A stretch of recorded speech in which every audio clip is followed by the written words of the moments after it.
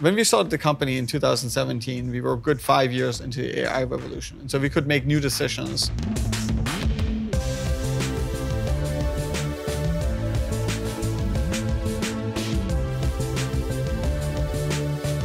Welcome to Talking Autonomy.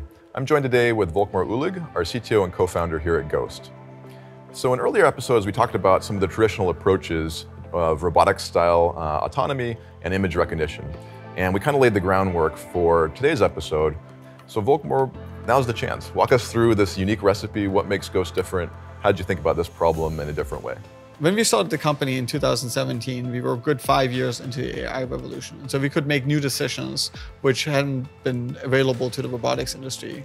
So one is we can use really low cost sensors, which is cameras. Modern phones have 48 megapixel cameras now, mm. which are incredibly good and they are similar to the resolution which the human eye has. And then uh, on the other side, we also have uh, computers now which are very low power because of the cell phone uh, revolution. And those computers we can put in a trunk of a car without sucking the tank or the, the battery dry uh, when the autonomous system is on. So we are not having to deal with you know 1000 watt computers in the trunk, but we can actually fit this into a power envelope which is way under 100 watts.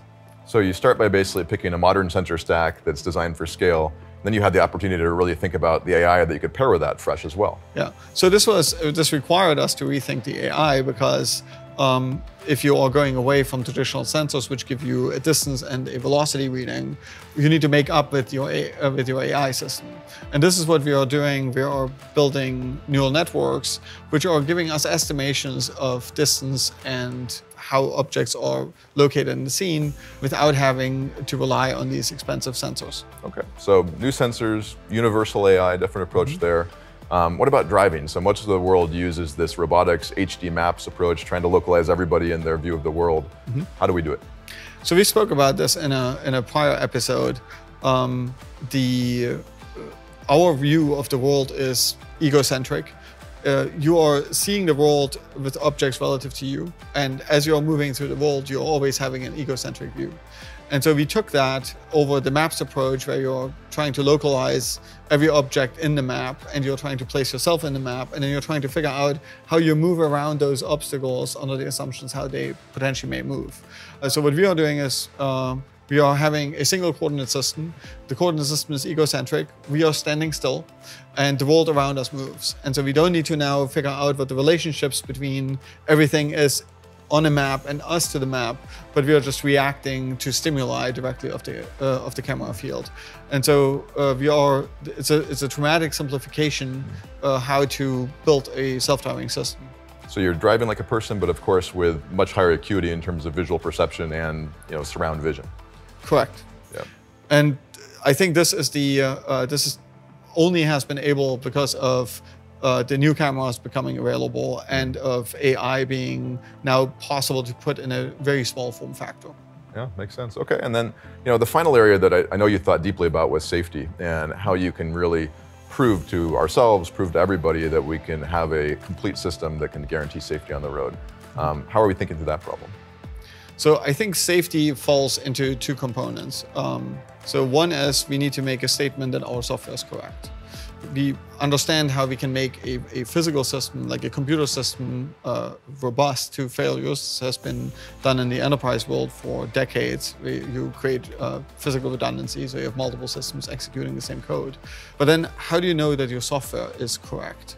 And here we are employing uh, formal verification, which is a part of computer science where uh, we are using uh, mathematical proofs of the correctness of the algorithms, and then we can make a statement that software is correct. Mm. And there is no looking bugs anymore. It's 100% correct. There is no room for bugs. On the other side, uh, we also uh, need to make statements about neural networks, and those things are very hard to prove. Uh, and so instead of um, going down the route of formal verification, we can make a statement the execution of the network is correct, but it's the construction of the network correct. Mm. And here we are using uh, a statistical approach where we are ensuring that the neural network has seen all combinations. And so that's the, the hard part of the neural networks, and there's lots of research in that field, how to figure out when there are misdetections. what we are doing is we are ensuring that we have a well-distributed data corpus. Uh, it's homogenized, so there are enough samples of every combination. And we're making sure that all the combinations that we potentially can see are enumerable. And so now we can count that our training set is actually complete. And so in all our architectures, we when we are building a neural network, we can only build neural networks where these properties hold. And that, for example, excludes image recognition. Huh. Wow, that was a lot to cover in about four minutes. So let's recap. We've got uh, basically a, a, whole new approach to universal physics-based AI that can find objects on the road universally. We've got a new sensor stack that can scale to 100 million plus cars in the world economically.